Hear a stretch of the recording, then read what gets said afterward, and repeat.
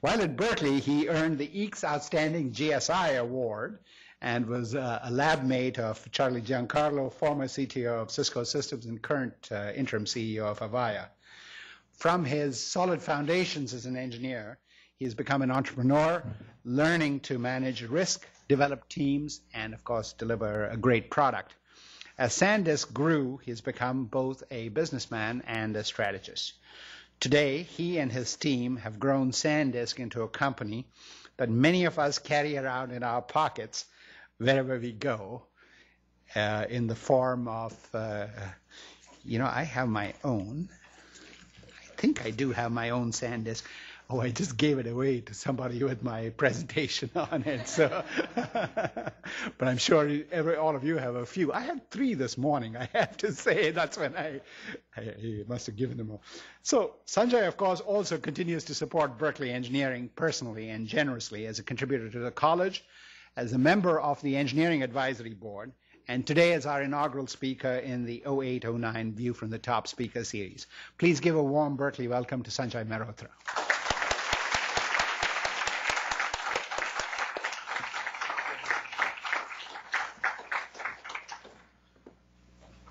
Think I'm on? Yes. Okay. Thank you, Dean Sastry, and thank you, Didi, for organizing this. Uh, it indeed is a great pleasure for me to come back to Berkeley. It's always uh, you need an excuse to come back to Berkeley. You know, it's uh, I have such fond memories of this place. So it's really wonderful that I'm here today to share with you what SanDisk has done over the last several years, the SanDisk story, our products, our markets, how we have created and grown these markets and what are our plans uh, for the future. As well as I would share with you uh, some of my own experiences starting the company, SanDisk, what were the key lessons learned. And I'm sure that from this room, one day there will be some entrepreneurs too. Uh, and hopefully uh, I can share and give some value to you through my own experiences. But first, talking about SanDisk, Actually, before I talk about SanDisk, I just want to mention that during the course of this presentation, there may be uh, some future projections, and uh, as an officer of the company, just want to make sure that nobody takes any of these projections and goes, buys, sells stock, you know. So you just have to be careful uh, in terms of uh, any expectations, etc., built from those projections. So about SanDisk, SanDisk started 20 years ago. Uh, Dr. Eli Harari, Jack Yuan, and myself, we started it uh, 20 years ago in Silicon Valley. Uh, today, SanDisk is uh, the world leader, the number one global market share for flash storage products, flash memory cards, and USB flash drives. We have number two market share in the US markets for MP3 players. Of course, number one, uh, as you all know, is Apple in that market, but we have a strong number two ahead of likes of Microsoft or Creative in the MP3 market. And we have created many of the standards for uh, the uh, flash storage industry over these years, and I'll talk briefly about it. But before that, I want to mention that SanDisk is a company that develops its own semiconductor flash memory. We invest heavily in R&D of flash memory technology. We manufacture those memories uh, through our joint ventures with Toshiba in Japan. So not only is it a company that supplies these end storage products, the various flash memory cards and MP3 players and USB flash drives, we develop these end consumer products, but the memory that goes into these products and the controllers that go into these products, those are all designed and developed by SanDisk, and the manufacturing of the memory is also done by us. So if you look at inside of any of our flash memory cards, you'll see a controller chip and several flash memory chips. All these components are designed, developed, and manufactured by SanDisk.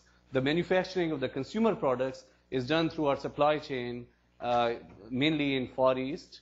Uh, converting the memory and the controller into end products is done through our partners, as well as our own factory now in Shanghai, China, where we do advanced assembly and packaging of these devices. So uh, SanDisk, in terms of the flash cards, uh, 20 years ago when we started, we actually were working with uh, leading companies uh, for imaging applications. And uh, at that time, there were no digital cameras. We worked with the likes of Canon, Nikon, Polaroid, Kodak to establish the flash memory card as the standard, as the film for the digital camera market. So that started way early at the very foundation of the company. We have done many innovations, many standards that we have developed joint, uh, either by ourselves or jointly with other major companies. And I would like to bring to your attention two of them. One of them is a SD card. And SD card was developed in uh, 1999 in conjunction with uh, Panasonic and uh, Toshiba. And this card basically uh, is pretty much the standard today in digital imaging for all cameras other than Sony cameras, where we developed uh, the cards, we co-developed the cards with Sony as well for Sony memory stick format. Another example of SanDisk ability to create and drive standards is a micro SD card. And I'm sure some of you and many of you are probably using this because this is the highest volume of uh, card in the market today. Highest volume, I mean, in terms of the number of units that are sold.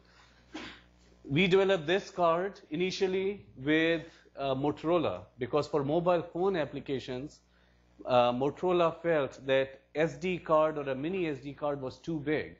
They needed something that was this small. This is really the size of your thumbnail here.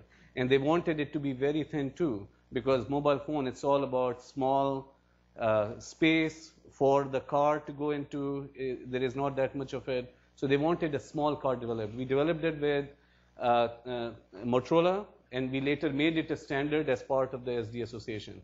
These two uh, SD and micro SD are pretty much the highest volume in terms of market acceptance and in, in terms of um, applications uh, and the platforms that they're used in in the industry. Of course, SanDisk is the one-stop shop for all um, card formats. We have invented or co-invented all of these formats other than XD card format, which we also have rights to manufacture and sell. And just want to make sure you understand, I said XD card. XD is a card that's used in the Fuji and the Olympus cameras. SD, secure digital card, and a compact flash card, mini SD, um, uh, and the memory stick, ProDuo, etc. These are all card formats developed jointly or solely by SanDisk. So uh, we are the one-stop shop, not only for the large OEM customers, who use our products eh, bundled or embedded in their consumer devices, but for the retail storefronts that sell our product, as well as, of course, for you consumers. Because for all flash storage solutions, we have a complete lineup of products. I talked about the digital film. We really created, the enabled the digital film uh, revolution by, as I mentioned earlier, working with the leading camera manufacturers at the time. So many of you in the room probably, I mean, don't even remember uh, the cameras that have, uh, you know, the analog film, the chemical film, because today everybody uses the digital cameras. So the film for the digital camera, this was created by SanDisk. And of course, it is the film that enables the digital camera revolution. Another large market for us is USB flash drives.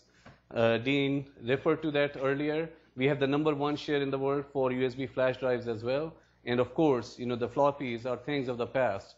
You, today, in the high capacity USB flash drives going up to 8 gigabyte, 16 and 32 gigabyte drives, you can store thousands of files instead of just uh, one file in that big clunky uh, floppies that you used to have. So uh, we acquired a company, M Systems, in uh, late 2006, early 2007. They were the inventors of USB flash drive. So SanDisk, through M Systems, also is inventor of USB flash category and is the number one market share leader in this part of the business as well. MP3 players, I talked about it. Uh, it's very natural that flash, which is our core competency, is the biggest part of the cost of manufacturing an MP3 player it plays very well to the SanDisk strength, SanDisk strength of flash technology, as well as our retail channels, retail business, uh, through which we can sell the products, through which we sell our USB flash drives and cards. We can easily leverage that sales channel to sell MP3 players as well. And that's why we are a strong player, uh, as I mentioned earlier, number two in US in the MP3 market. The biggest market for us in terms of the growth today and the future growth is the mobile phone market. And with uh, the high-end phones, the multimedia phones, with the phones leveraging video capabilities, uh, high-resolution cameras for pictures, uh, for music, as well as for maps, emails, uh, GPS, all of these applications, for these, mobile phones are becoming the single convergence device. And of course, that plays beautifully to the need for driving flash storage and high capacity flash storage, again, to store video clips, uh, to be able to record, uh, you know, TV programs in those territories, in those geographies where those services are offered, as well as uh, for your pictures and for your video. So this is really the age of not just um, user-acquired content, it is really user-generated contents. All of you, through your cameras, through your mobile phones, or through your PC are generating content and you're sharing it in this age of internet and social networking with your friends, with your relatives, the instant you take these pictures or movies or videos. And flash storage is very much at the heart of this whole revolution. And this is what SanDisk uh, determined is the future 20 years ago, and this is what we built our company on. And ultimately, this has resulted in our sales of units at the rate of almost million units a day. In 2007, on an average, we sold almost 1 million units per day. This is just SanDisk, of course, and we are the number one market leader, but the market is overall even bigger than that. And this market, um, 15 years ago, was very much in its infancy. And you will see that it has really taken off just in the last few years. Uh, we were at the rate of about 100,000 units a day in 2004. So in the course of these four years, we have grown the number of units that we manufacture and sell by a factor of 10. So this requires tremendous focus on scaling up the whole company. When there is such a rapid growth, such a huge demand, multiple markets that you're addressing, it also requires a very strong team and ability to continue to grow your technology, your manufacturing infrastructure, as well as your sales channels and service the customers with the maximum satisfaction. And to that end, in terms of customers, our customers are hundreds of millions of consumers worldwide. We supply them our product through more than 220,000 storefronts, retail storefronts like Best Buy, Circuit City, uh, Walmart, uh, as well as uh, in all the geographies of the world, we, we, we are able to bring our products and sell those products there. In addition, as I mentioned, a very important part of SanDisk strategy is to work with the leading OEMs, original equipment manufacturers as well. So they, we have number one share for flash cards in the OEM market as well. It's very important to understand that through OEMs, likes of Canon, Nikon, Dell, uh, Nokia, Sony Ericsson, through them, working closely with them, you understand what are the needs of the future, where are the future trends developing in the market. We then make sure that we are able to develop the storage solutions that will intersect those future consumer electronics trends. And this is what we have done from day one at the company. This has worked well as a strategy. So a balance between OEM and retail is an important part of the growth strategy of the company.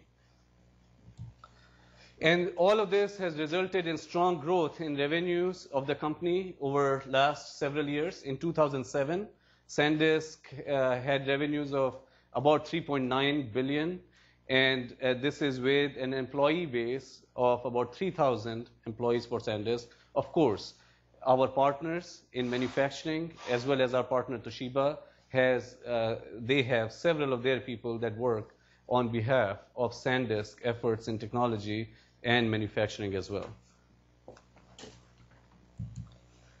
So that was really uh, the past. And for the future, when we look ahead, I would like to share with you the growth projections by Gartner of the number of bits that will be consumed uh, in the future. And of course, the existing markets of imaging, USB flash drives, MP3 players, will continue to enjoy a nice growth in the future as well. But the biggest growth really comes from the mobile market as well as solid state disk drives for your notebook and netbook computers as well as enterprise applications. The flash bits in 2008, approximately 5 billion gigabytes worth of products, flash storage products are sold, are projected to be sold in the industry. So 5 billion gigabytes as, as a projection. And this is, by third parties, projected to grow to uh, approximately 70 billion gigabytes by 2011 timeframe, 2011-2012 timeframe. So over next four years, over next four to five years, a growth in the industry of 15 times of number of bits that will be consumed, and of course, that shows the strong potential of growth in our markets in the future. And the key drivers of future growth, as you can see here in the gray, is mobile market. The biggest growth will come from the mobile. And another new market that is just developing before us right now is the solid state disk market. So in mobile, the growth really is driven by the number of handsets that are coming out with card slots. Uh, right now, uh, for 2008, about total 1 billion, uh, 2008, about 1.3 billion handsets are sold worldwide. And out of those, about 700 million handsets in 2008 will have a card slot. Same uh, numbers by 2010 timeframe, the number of phones with card slots will, would be more than a billion in terms of the projections. So there you see, these are such staggering numbers in the mobile phone space. We are talking about 700 million to a billion units per year of mobile phones that are capable of using flash memory cards. So the key for us, of course, is to continue to drive the attach rates higher.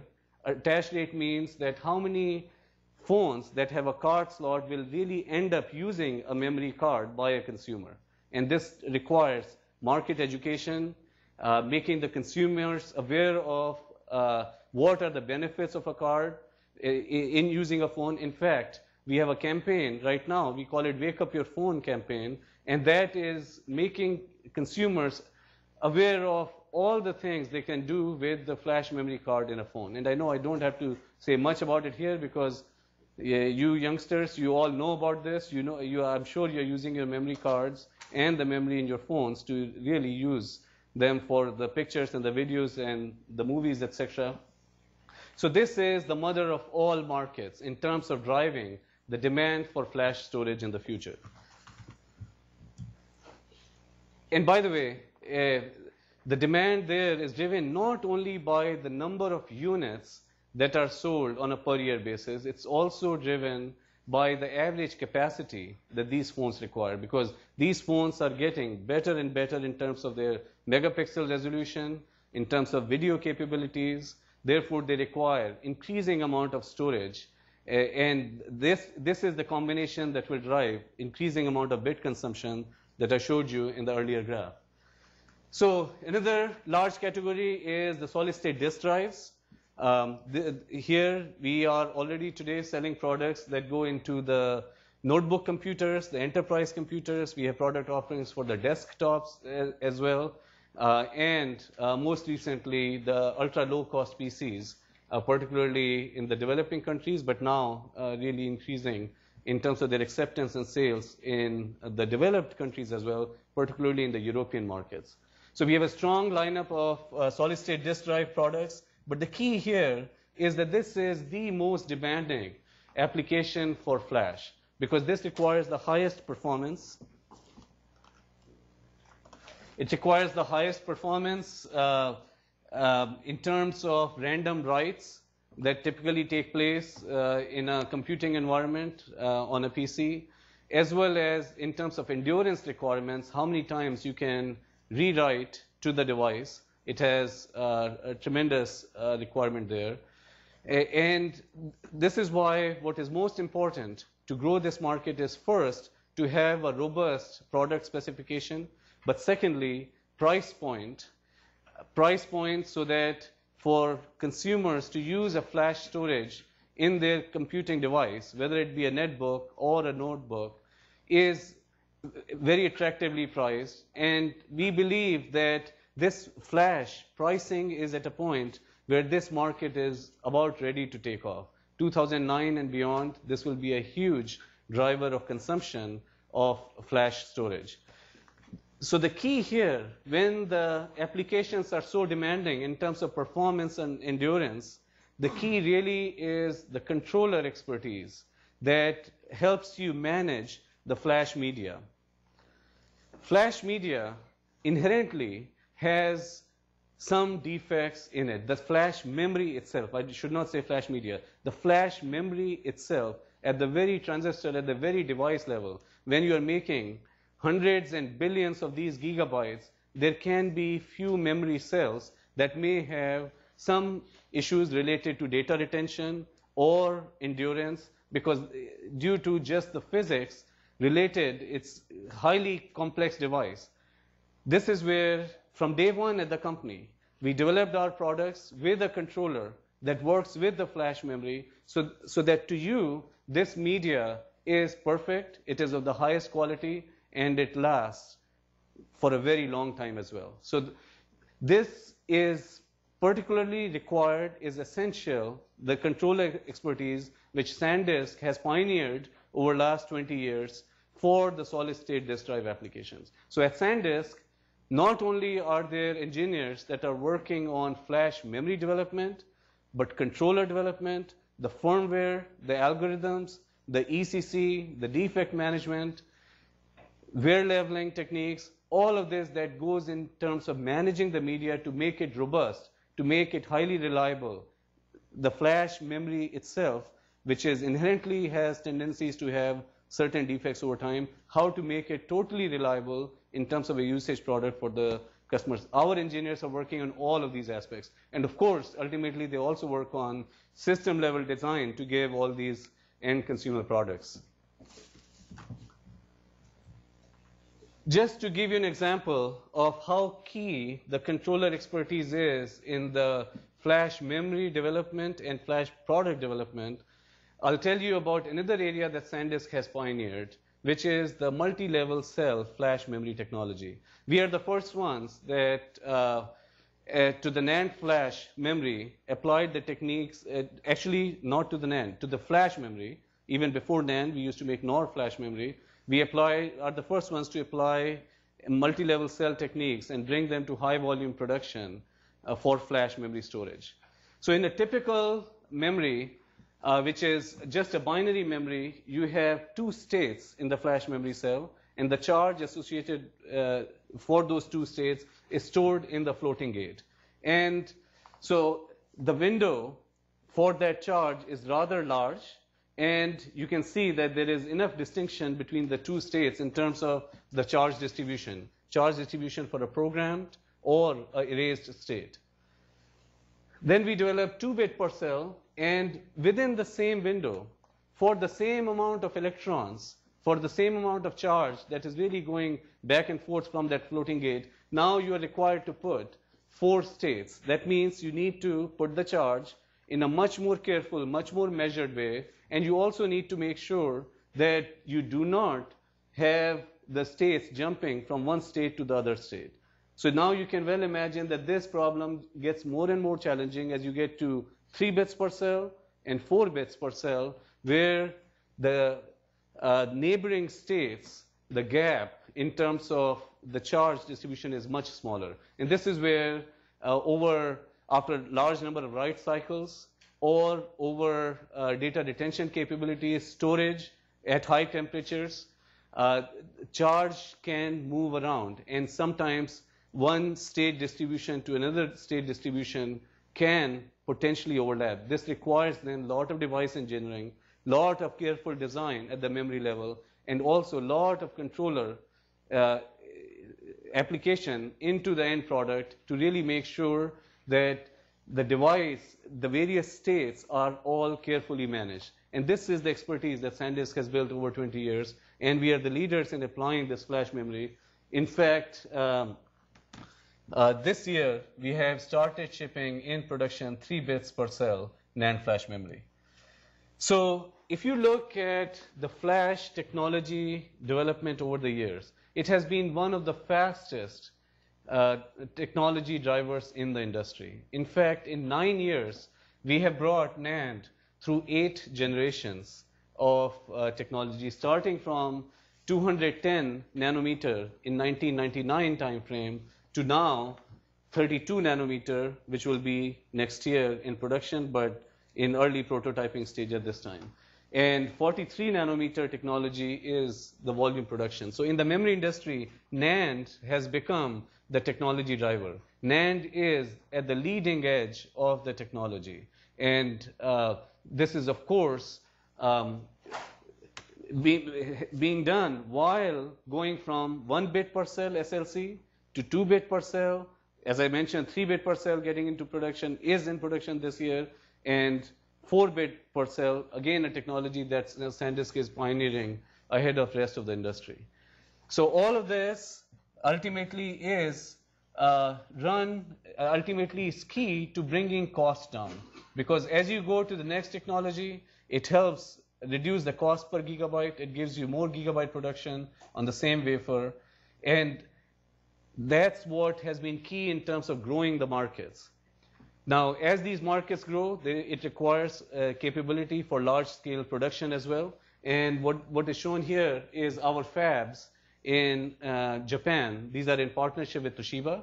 These fabs are shared 50-50 between SanDisk and Toshiba. Our R&D is in partnership with them, as well as all the manufacturing. Of course, the investment related to these fabs in terms of dollars, which takes billions of dollars of investment, is made by SanDisk for our portion, and Toshiba makes it for their own portion.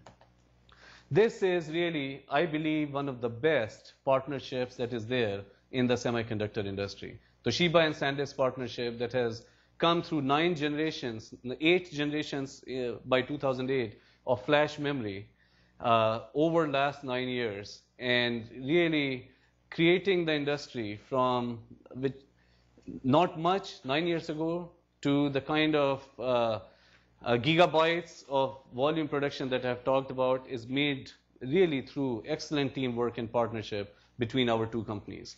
These fabs are huge fabs. Uh, the, just to show you here, Fab 4, our latest fab, which is ramping up production, each floor of this fab is five football fields. And this is a five floor building. It's capable of ultimately getting to production of 210,000 wafers per month. Its neighboring fab, which is also 50-50 shared between Toshiba and SanDisk, each floor is four football fields. That fab is capable of getting up to 150,000, and we already are producing at that level today in that fab. So these are mega fabs. They require, of course, uh, billions of dollars of investment. The growth of our business and the uh, success of our business has enabled us to invest in the most advanced leading edge technology and manufacturing at this scale. So all of this, the scale of the technology and uh, the scale of manufacturing has really led to very rapid price declines, which is what, as I mentioned earlier, is the key to the growth of our markets. So in 1991, when SanDisk started selling the first flash storage products, which was this disk drive, it actually had, this was a 20 megabyte disk drive. We were selling it, our first customer for this was IBM. We were selling it for $1,000 at that time, a 20 megabyte drive for $1,000. It was actually made with um, two flash cards, each one 10 gigabytes that you could pull out, replace, uh, and insert in this drive. And today, you can get uh, basically $4 per gigabyte. You can buy on promotion a 8 gigabyte product for $30 today. Okay. So we have come from $50 per megabyte in 1991 to about $4 per gigabyte for uh, you, for the consumers to purchase. And this is all enabled by the tremendous amount of innovation in technology, in manufacturing, the scale of manufacturing, as well as um, the product development uh, and working closely with the customers to grow these markets. So again, you know, take a note that this is a 20 megabyte. That's all we could squeeze into this at that time. That was the maximum capacity. And today, these micro SD cards, these have 8 gigabyte and 16 gigabyte to come in the future uh, in these devices. So, uh, like any technology, NAND has had a great run, is continuing to be very strong. We see that over next few years, NAND will continue to scale well and continue to drive to higher capacity and lower costs. But it is over next several years, uh, NAND probably will run out of its life. And uh, this happens in uh, typically all technologies. We call it the S curve, that in the early stages of development of uh, technology, it takes a lot of effort, but you're not able to produce much output from it. And then once the technology becomes mainstream, with the effort, with the investments that you make, you are able to uh, gain a lot of output and drive the growth of the business. And then, as the technology gets more and more difficult, with the effort, you are able to get reduced rate of output increase. NAND, as I talked to you, that uh, with the scaling, the number of electrons that we are really talking about on a per state basis is now in the tens of electrons. And you know that puts a significant challenge. The controller takes care of it, but the future uh, scalability challenges are immense. I mean, tremendously exciting things for engineers to work on. And I got to tell you that a few years ago, people used to say that, um, you know, DRAMs, where is DRAM after 64 megabit? Uh, you know, a couple of decades ago, people used to talk about that would there be a DRAM after 64 megabit? people, uh, people uh, not 64 megabit, 64 kilobit at that time. People used to talk about for non-volatile memory that after a certain generation, will this be able to scale? And engineers are always able to solve problems. I'm an engineer myself, so I have a big belief in engineers, and I know that NAND scaling too will continue beyond what everybody projects is able to project today. Because I'm sure engineers will once again, through their wonderful work, ours, as well as Toshiba's, as well as in the industry, will continue to make tremendous progress in driving this. However, over next decade, we believe that uh, 3D memory that we have started developing will be able to replace flash memory. Of course, this is very, very early stages. Again, it is in the early part of the S-curve. Today, this memory is in one-time programmable form. We are shipping this memory in one-time programmable uh, in uh, Nintendo uh, game cartridges. We are working on developing it for read-write application, and we believe that in the future, 3D memory has tremendous potential, and over next decade, sometime, 3D memory will replace likely NAND. Uh, but again, not anytime near. Uh, it's going to happen over next one decade, and um, NAND has uh, plenty of life left over next few generations in terms of continued scaling. But I just want to give you uh, very briefly uh, the 3D structure. You may hear more about it later on in Khandker's present, presentation. Um, 3D is a memory that basically is a diode and an anti-fuse. This is the one-time programmable device. So it's a diode and anti-fuse vertically stacked and crosspoint with uh, metal, tungsten for uh, the word lines and the bit lines. And then this structure is repeated in rows and columns and basically gives you one layer of uh, flash memory. Uh, this is one-time uh, programmable structure that I've shown you. And this is a 4f squared for one cell. Basically, the minimum feature that you can define with lithography, eh, you are able to develop the cell in those minimum geometries. The nice thing about 3D is that those layers, the technology is such, its requirements in terms of temperature, etc., are such that you can duplicate these layers on top of one another. It's like a multi-story building. On the same piece of real estate, you can build many more apartments in a multi-story building. You can get much more square footage capacity. Therefore, 3D memory repeating that structure through the multiple levels is what really gives you the attractiveness and you can imagine the cost benefits that this small cell with its ability to build large arrays on one plane and then stack them up on multiple planes can give you for future.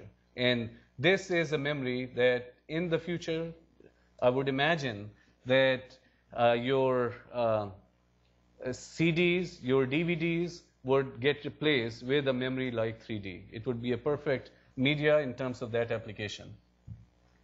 And the beauty of 3D also is that not only you stack up the memory array, the logic, which typically takes up a lot of periphery in a memory, is really put underneath these memories array. So it again helps you conserve the real state of the silicon. So what I've shown you here is a cross section of a die we ship today in one-time programmable 2 gigabit devices built in 80 nanometer, and we are continuing to aggressively scale the technology uh, for OTP applications. But the most important aspect here is that this structure of 3D, a diode and a switching element, we are now working on applying it to rewritable memory. Now that requires some material development so that that material has good endurance as well as uh, strong retention characteristics and the disturb conditions in the structure need to be minimum from adjacent cell disturbs, etc., which is again another big advantage of 3D uh, that you know it really is immune uh, due to its cell structure from uh, disturbs when you are writing to other cells. We are working on for the future developing a 3D rewritable memory. We don't have that yet; it's in the labs. But this is what we think. In the future, 3D rewritable memory is what would be able to potentially replace NAND. So we have the leader of the teams here, Khandker and Klaus, that are not only working on NAND flash memory development at SanDisk, but also with 3D memory development. Okay, I want to briefly talk about the days at Berkeley. Uh, as Dean Sastry mentioned, I did my bachelor's uh, here, spent many, many hours, just like many of you here in Cory Hall. I did my master's here as well, worked under Professor Bill Oldham, and I, my master's thesis was in photoresist modeling. But Berkeley, great education, uh, you know, whether process or design or device, I think you really take all the coursework and you, you can become a great engineer in the industry. I really love Berkeley engineers. I'm very proud of the contributions that they have made at our company at SanDisk. I absolutely produce the top notch, the best possible engineers uh, in the industry.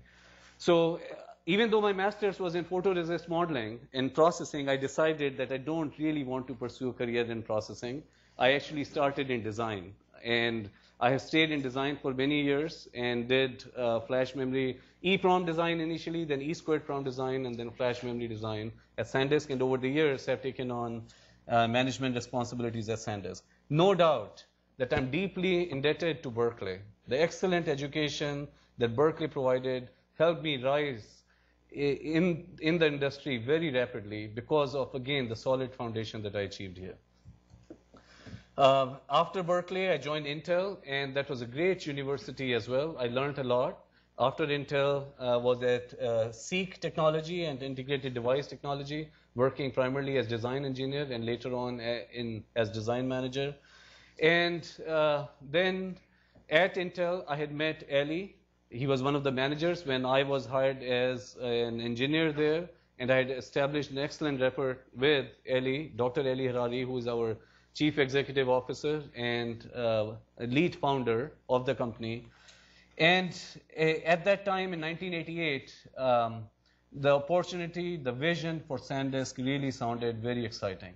And that's when I decided to be part of SanDisk. And I want to share with you, this is in 1990 that uh, Dr. Eli Harari, our founder, uh, gave a talk at Santa Clara University at one of the IEEE Electron Devices Society meeting. And what he said there is that semiconductor non-volatile memories have in the past been an imperfect solution looking for a problem. And again, remember, this is 1990. This is before you had digital cameras, before you had mobile phones, Uh, none of that stuff. This is when he's writing this.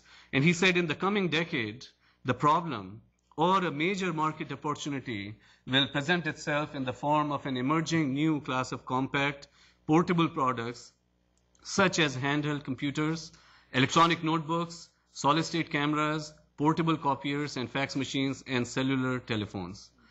At the same time, certain types of non-volatile memory technologies, such as flash EEPROM, are at the threshold of overcoming major technological hurdles and transforming themselves from frog to prince or king in the new market environment.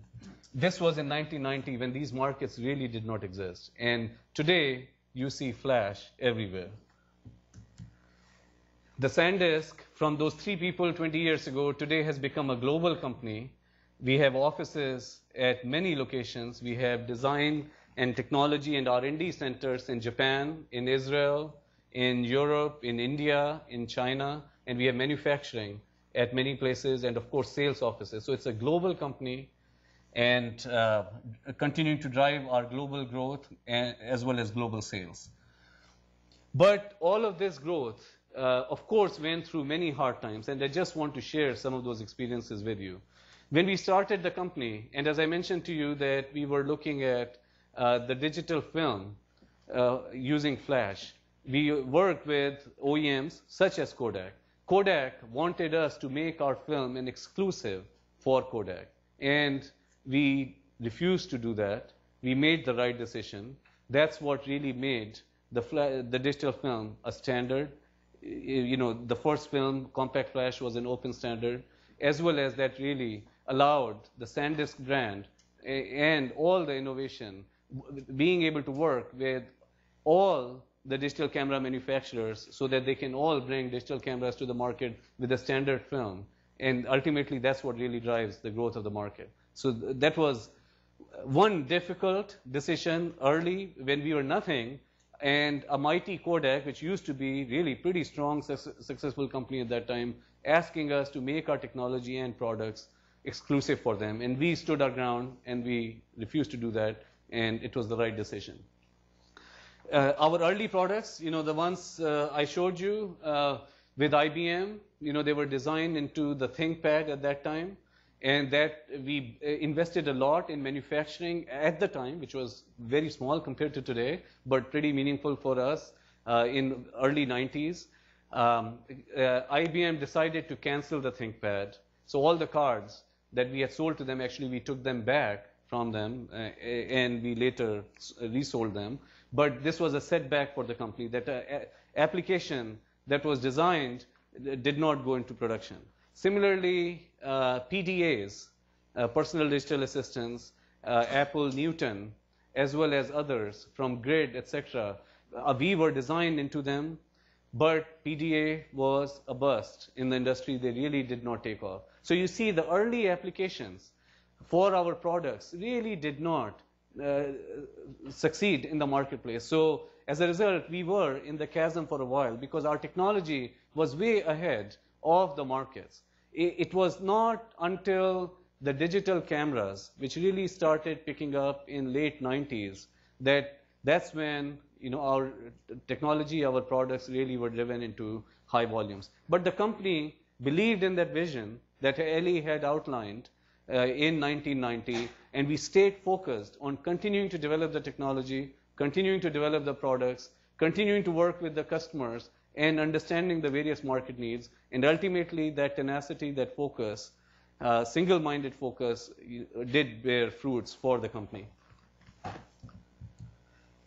Of course, uh, from day one, SanDisk focus has been on innovation. We uh, developed some critical intellectual property and patents, and we have had some patent wars uh, with others in the industry, and we have uh, prevailed through those uh, in the past. And again, uh, for a small company, it can be a tough decision to assert your intellectual property, but we, we had faith in the quality of our intellectual property and we uh, uh prevailed. And it's a very important, fundamental um, aspect of our business today in terms of the royalties that we collect through licensing of our intellectual property.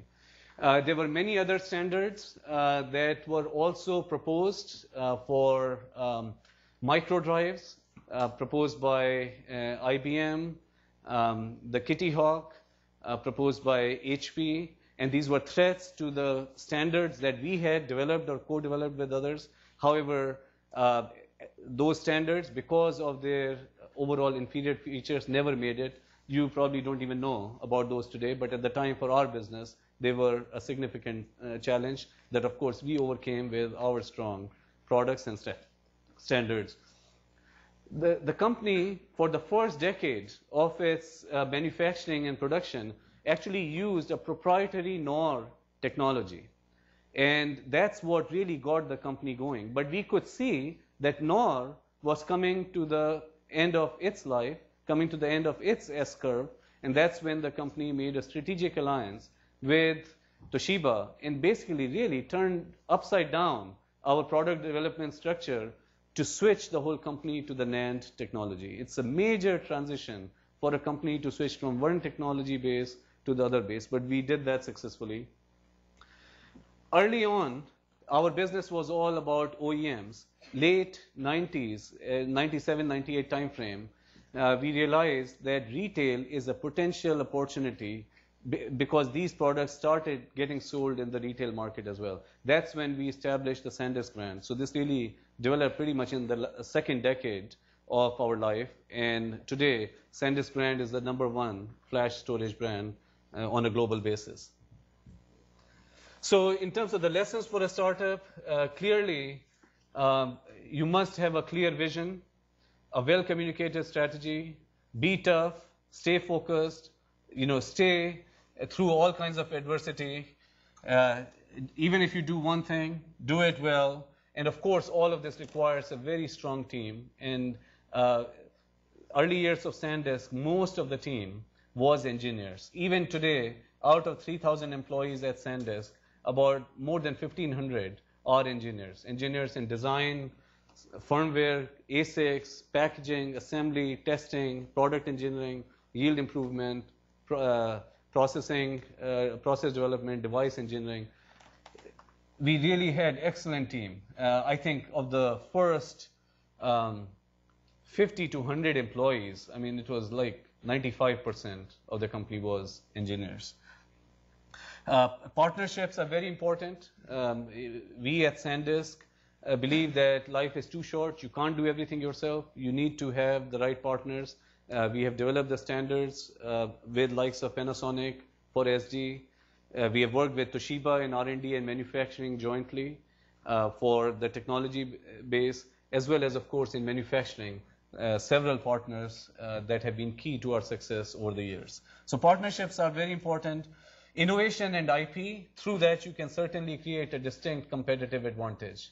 And it allows you to bring leading edge solutions to the market faster than others. And that helps you create new markets, grow new markets, and I believe that, this is essential part of, uh, of a successful company.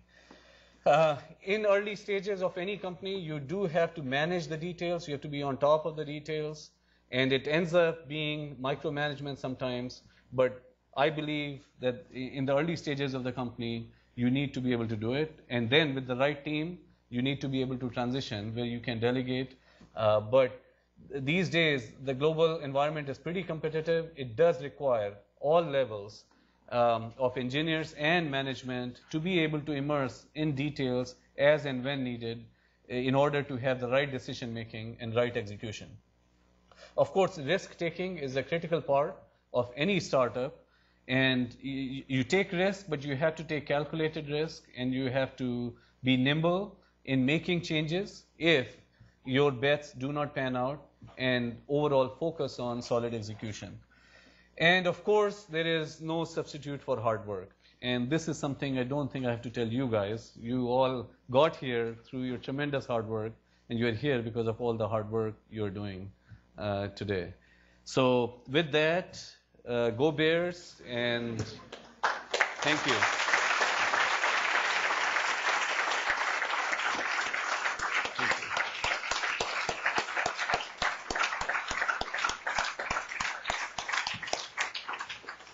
That's a fantastic talk.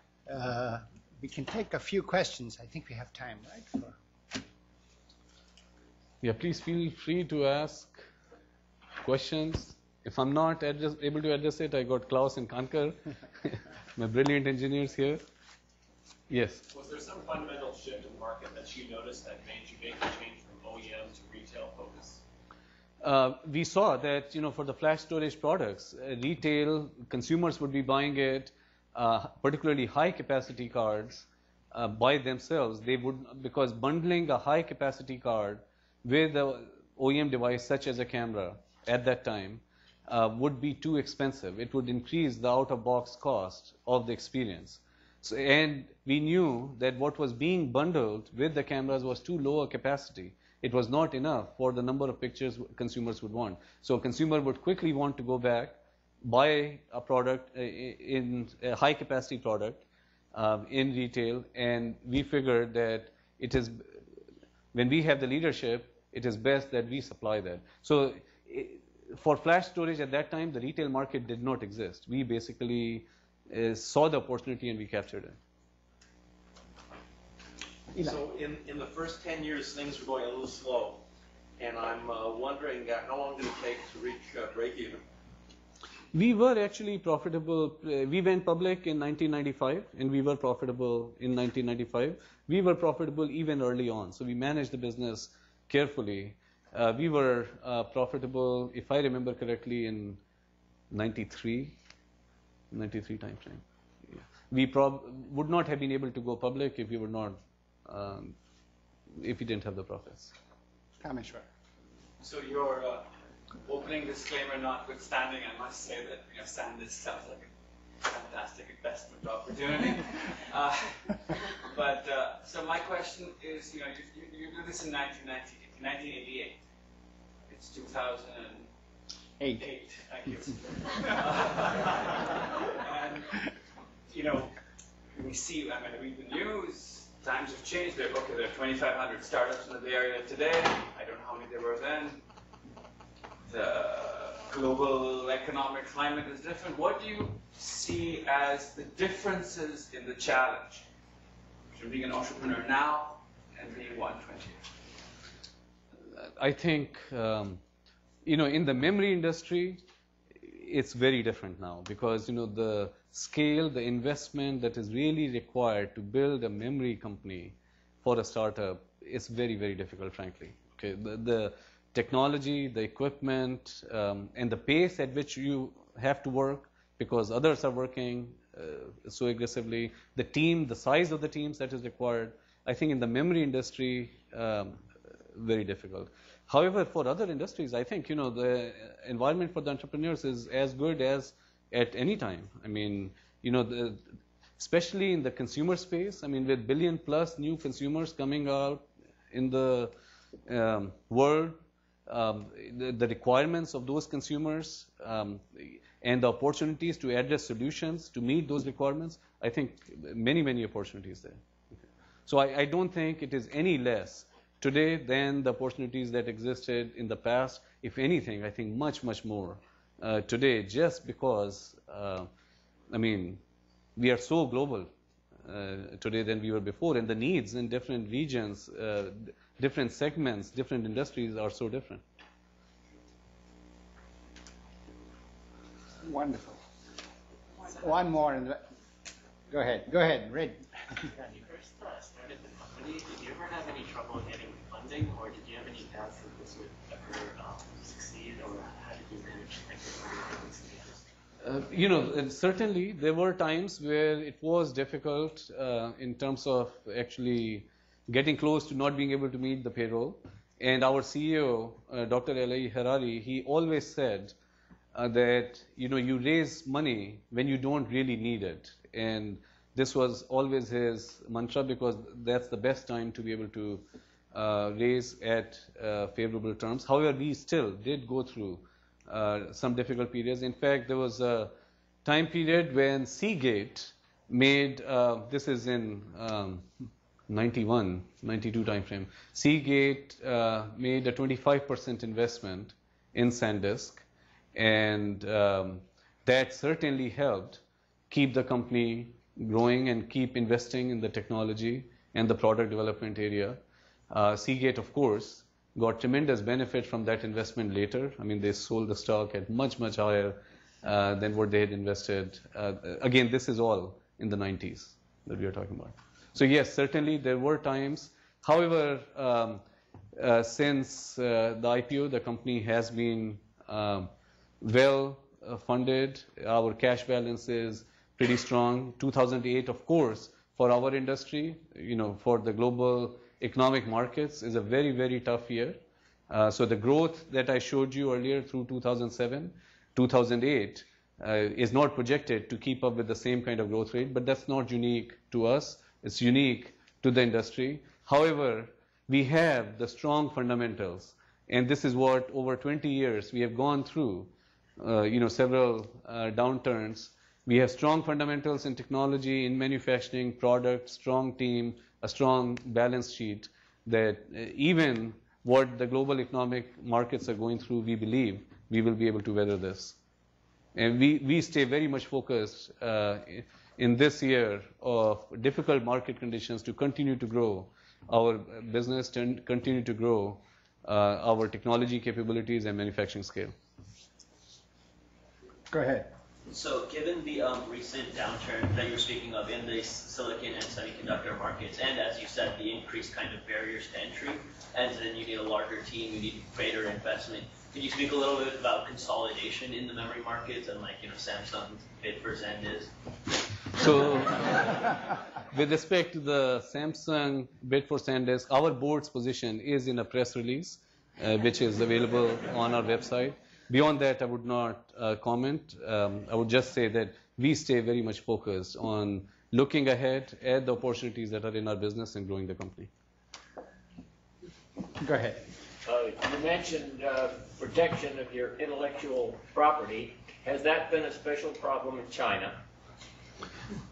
Uh, that is correct. That you know, in China, actually, uh, it is a problem. Um, you know, uh, in one way flattering, but you know, it's a huge problem. That in China there are a lot of fake SanDisk cards that do get sold, and it's uh, it is uh, definitely uh, a challenge in terms of controlling that. We have staff and we have other partners in the region that we work with in really trying to enforce that our intellectual property is respected and our products are not copied and, uh, I mean, not counterfeited.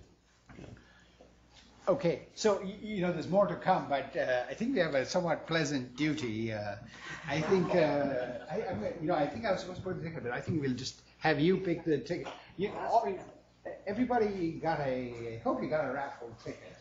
This is the time to pull it out. We're gonna go with the last three. Last three numbers.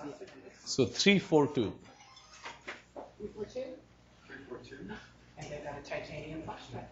You saw one of those uh-huh. uh, eight gig. Ti- no, you, you want to give it to them? Yeah. Yes, oh, right. right. So it's a four grade titanium plus. Great product.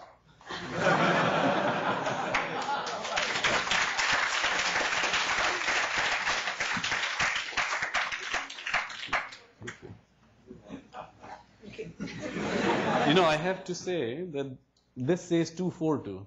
Okay, but it's yours. It was 342, but this says 242. I think it's yours. No, no, no. 342 is not in the room. It's yours. Enjoy. Yes. No, no, she gave me 242. 342 gets You know, just for you. Yes. That's uh, you know,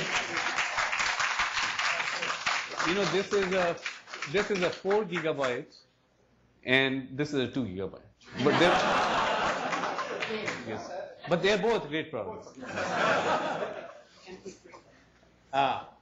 Okay, so Sansa MP3 player, uh, our Sansa View product. So, you know, video capability as well. This is uh, 255, 255. Huh? Thank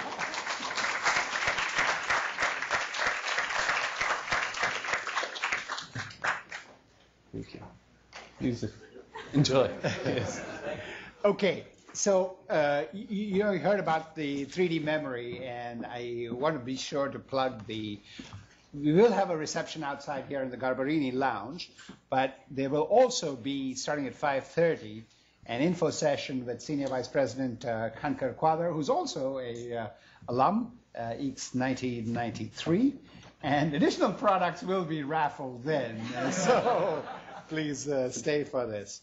So I I would like to end by. Uh, Oh, wow. I, I must say this was a fabulous talk, and the least we could Thank do you is so to. much. Okay. So you're up to date on your bandwidth. Thank you very much. Thank you.